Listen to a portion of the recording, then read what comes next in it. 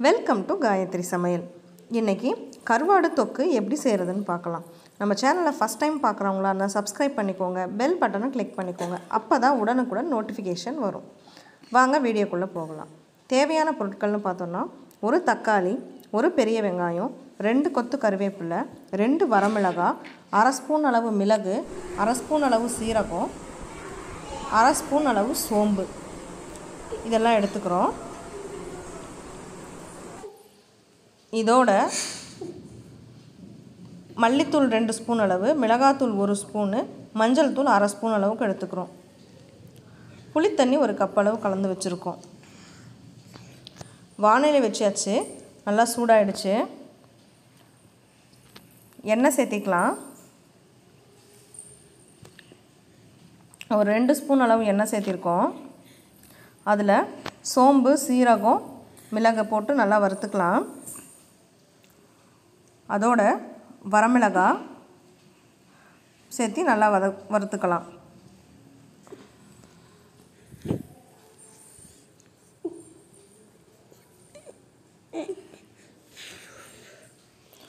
இதோடையே cut பண்ணி வச்சுருக்க வெங்காயத்தை சேர்த்திக்கலாம். வெங்காயம் சேர்த்துனதுக்கப்புறம் தக்காளி சேர்த்திக்கலாம். இதெல்லாம் சேர்த்து நல்லா வதக்கிக்கலாம்.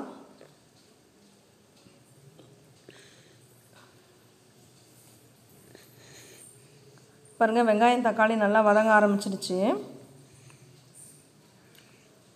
ஒரு ஃபைவ் மினிட்ஸ் அளவுக்கு நல்லா வதக்கிக்கலாம். பாருங்கள் நல்லா வதங்கி வந்துருச்சு.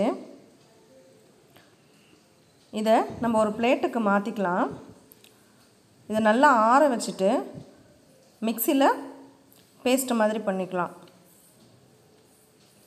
பாருங்கள் பேஸ்ட் ரெடி ஆகிடுச்சு இப்போது கருவாடை எப்படி க்ளீன் பண்ணுறதுன்னு பார்த்துடலாம் இன்றைக்கி நான் அயரா கருவாடை எடுத்திருக்கேன்.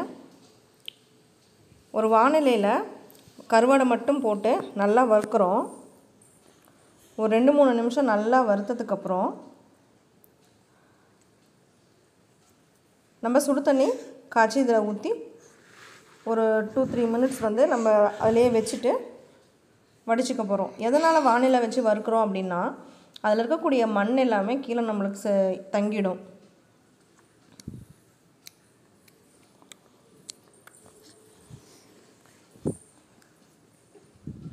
பாருங்கள் நல்லா நம்ம வறுத்தாச்சு. சுடு தண்ணி காய்ச்சி நம்ம இதுலேயே ஆட் பண்ணிக்கிறோம்.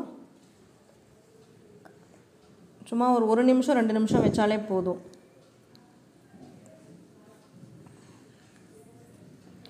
அதுக்கப்புறம் இந்த தண்ணியை வடிச்சிட்டு நம்ம ஒரு நாலஞ்சு தடவை கழுவி க்ளீன் பண்ணி எடுத்துக்கலாம். பாருங்கள் நம்ம நல்லா க்ளீன் பண்ணி எடுத்துட்டோம். இப்போ இதில் எந்த மண்ணும் இல்லை. அதுக்கப்புறம் திரும்பவும் வானிலையை வச்சு ஒரு மூணு ஸ்பூன் அளவுக்கு எண்ணெய் சேர்த்திருக்கோம். எண்ணெய் நல்லா சூடாயிடுச்சு. இதோட கடுகு ஒரு அரை ஸ்பூன் அளவுக்கு சேர்த்திருக்கோம்.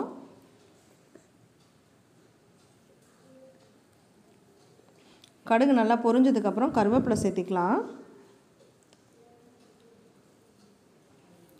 அதுக்கப்புறமா நம்ம அரைச்சி வச்சுருக்கோம் இல்லைங்களா பேஸ்ட்டு அதை சேர்த்திக்கலாம்.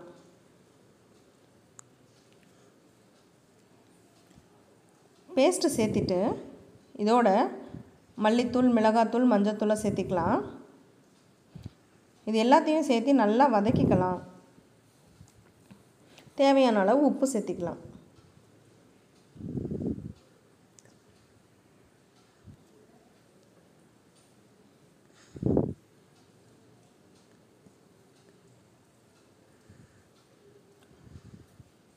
இந்த பேஸ்ட் நல்லா வதங்கணும்.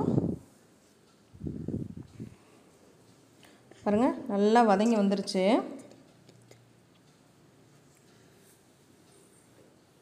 இப்போது நம்ம க்ளீன் பண்ணி வச்சுருக்கோம் இல்லைங்களா?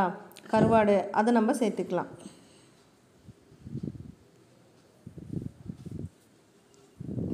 பாருங்கள் நம்ம சேர்த்தியாச்சு.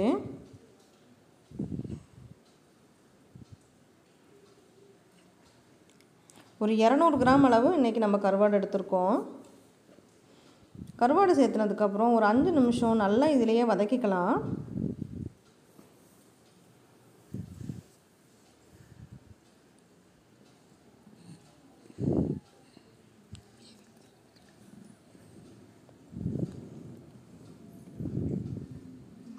பாருங்கள் நல்லா வதக்கியாச்சு.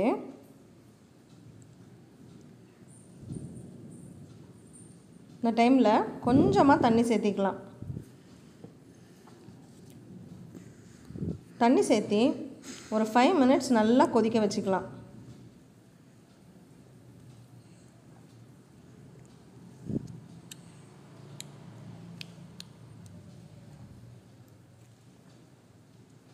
பாருங்கள் நல்லா கொதிக்குது.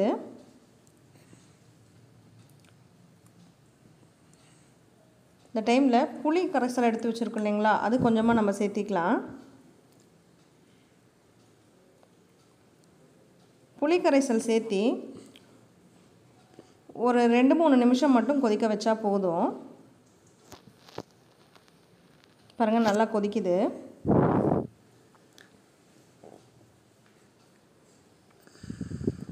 பாருங்கள் இப்போ நம்மளுக்கு கருவாடு தொக்கு ரெடி ஆகிடுச்சு